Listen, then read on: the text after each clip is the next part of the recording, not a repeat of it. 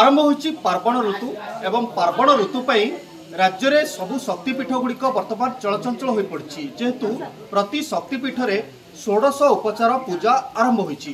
ନବରାତ୍ରି ପୂଜା ଆରମ୍ଭ ହେବ ଏହାପରେ ଗତ ଶନିବାର ଯେଉଁ ମୂଳାଷ୍ଟମୀ ରହିଥିଲା ମୂଳାଷ୍ଟମୀ ଠାରୁ ଷୋଡ଼ଶ ପୂଜା ବିଭିନ୍ନ ସ୍ଥାନରେ ଆରମ୍ଭ ହୋଇଛି। ଯଦି କହିବା ଗଞ୍ଜାମ ଜିଲ୍ଲାର ପ୍ରସିଦ୍ଧ ଶକ୍ତିପୀଠ ମା ତାରାତାରିଣୀଙ୍କ ପୀଠରେ ଗତ ଶନିବାର ବା ମୂଳାଷ୍ଟମୀ ଠାରୁ ଷୋଡ଼ଶ ପୂଜା ଆରମ୍ଭ ହୋଇଛି ଏବଂ ଏହା ଯେତେବେଳେ ଷୋଡ଼ଶ ପୂଜା ଆରମ୍ଭ ହୋଇଛି ପ୍ରତ୍ୟେକ ଦିନ ଦୁଇ ଥର ସକାଳେ ଏବଂ ସନ୍ଧ୍ୟାରେ ଚଣ୍ଡୀପାଠ କରାଯାଉଛି ଦେବୀଙ୍କୁ ଆହ୍ୱାନ କରାଯାଉଛି ଜଗତର କଲ୍ୟାଣ ପାଇଁ ବିଭିନ୍ନ ପ୍ରକାର ପୂଜାର୍ଚ୍ଚନା କରାଯାଉଛି।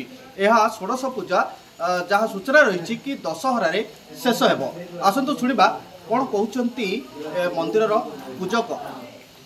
ମୁଁ ବାପୁଜୀ ରଣା ମୋ ମା ତାରାତାରିଣୀଙ୍କର ସଙ୍ଗ ଲାଗି ସେବାୟତ ନତ୍ୱାଂ ଶ୍ରୀ ତାରିଣୀ ତାରା ଦେବୀ ବ୍ରହ୍ମ ସ୍ୱରୂପିଣୀ ବୃଭେନ୍ନ ସ୍ତନପୀଠେ ଶ୍ରୀକ୍ଷେତ୍ର ମହାତ୍ମ୍ୟ ମୁତମମ୍ ସ୍ୱୟଂ ଭଗବତୀ ଆଦିଶକ୍ତିଙ୍କର ଯେତେବେଳେ ମୂଳାଷ୍ଟମୀରୁ ଆରମ୍ଭ ହୋଇଥାଏ ମାଙ୍କର ମହାସ୍ନାନ ଯାତ୍ରା ଯେତେବେଳେ ସମସ୍ତ ଭକ୍ତ ସମସ୍ତ ସେବାୟତମାନେ ଜାଗ୍ରତ ହୁଅନ୍ତି ଏପରିକି ଋଷିକୁଲ୍ୟା ମହା ଋଷିକୁଲ୍ୟା ନଦୀ ଅଛି ମଧ୍ୟ ତା'ର ଜଳରାଶିମାନେ ସମସ୍ତେ ଉତ୍କଣ୍ଠା ଭାବରେ ଚାହିଁନଥାନ୍ତି କେତେବେଳେ ସ୍ୱୟଂ ଭଗବତୀଙ୍କର ସେହି ଚରଣ ସ୍ପର୍ଶ କରିବେ ऋषिकुल्या महापुण्यम गंगायं तीर्थरूपिणी स्नान करोमि ततोयं विष्णुलोक प्रयच्छमे ଯେଉଁ ପବିତ୍ର ଋଷିକୁଲ୍ୟା ନଦୀର ଜଳଧାରାରେ ସେ ଭଗବତୀଙ୍କର ଉତ୍ଥାପନ ମୂଳାଷ୍ଟମୀର ଉତ୍ଥାପନ ହୋଇଥିଲେ ପଞ୍ଚସୂକ୍ତ ପଠନ ହେଲା ପରେ ଦେବୀଙ୍କୁ ମହାସିଙ୍ଗାର ସଜ୍ଜିତ କରାଯାଇ ମହାଆଳତୀରେ ଅନୁଷ୍ଠିତ ହୋଇଥିଲା ମୂଳାଷ୍ଟମୀରୁ ମହାଷ୍ଟମୀ ପର୍ଯ୍ୟନ୍ତ ସ୍ୱୟଂ ଭଗବତୀଙ୍କ ପାଖରେ ଷୋଡ଼ଶୋପଚାରର ପୂଜା ଚଣ୍ଡୀପାଠ ହୋମ ବିଭିନ୍ନ ପ୍ରକାର ସୂକ୍ତ ପଠନ ଏବଂ ଗୁପ୍ତ ପୂଜା ଗୁପ୍ତ ନୀତି ହେଲା ପରେ ସମସ୍ତ ନୀତିକାନ୍ତି ଏ ମୂଳାଷ୍ଟମୀ ମହାଷ୍ଟମୀ ପର୍ଯ୍ୟନ୍ତ ଚାଲୁ ରହିବ ଏ ପରିପ୍ରେକ୍ଷୀରେ ସମସ୍ତ ଭକ୍ତ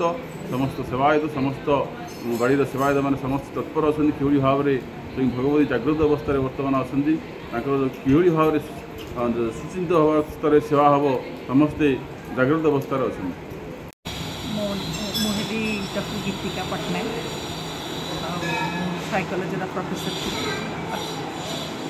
ମା ତାରାତାରିଣୀଙ୍କ ଶକ୍ତି ମୋତେ ଏଠିକି ଆଜି ଟାଣି ଆଣିଛି। ମୋର ବହୁତ ଭାଗ୍ୟ ଯେ ମୋର ମୁଁ ତା ମାଆଙ୍କର ଦର୍ଶନ ପାଇଲି ପୂଜା ବି ହେଲା।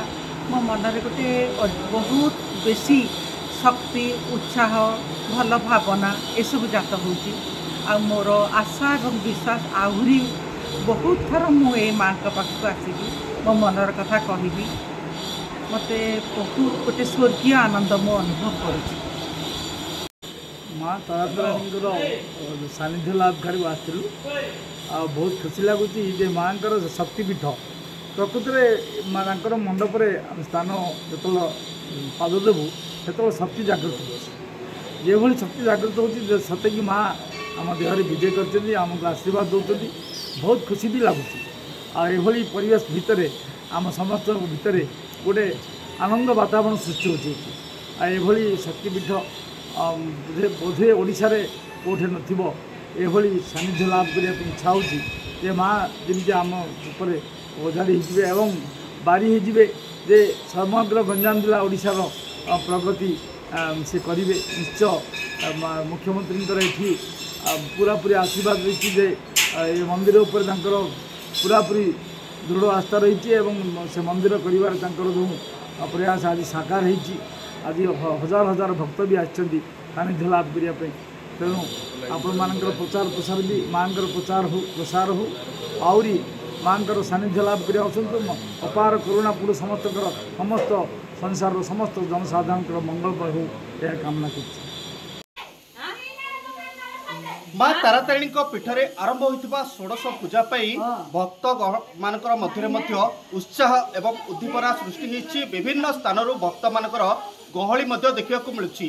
ଏହି ଷୋଡ଼ଶ ପୂଜା ବା ନବଦିନାତ୍ମକ ପୂଜା ଯେଉଁ ରହିଛି ପରମ୍ପରା ବା ସଂସ୍କୃତି ଅନୁସାରେ ଚାଲିବ ଏବଂ ଏଥିପାଇଁ ଭକ୍ତଙ୍କର ଭିଡ଼କୁ ଦୃଷ୍ଟିରେ ରଖି ସ୍ଥାନୀୟ ପ୍ରଶାସନ ପୋଲିସ ପ୍ରଶାସନ ପକ୍ଷରୁ ସତର୍କତା জারি হয়েছে এবং শান্তি শৃঙ্খলা কীভাবে ভাবে রক্ষা করা সে নেই প্রশাসন পক্ষ পদক্ষেপ নিয়ে যাচ্ছে গঞ্জাম সুশান্ত পট্টনাক সকাল খবর